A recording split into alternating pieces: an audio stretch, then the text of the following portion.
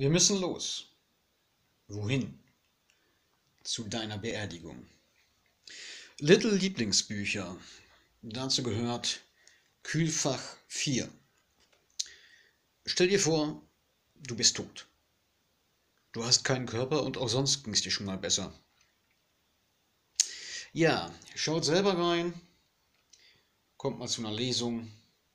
Ich kann es sehr empfehlen. Good Read. Kühlfach 4.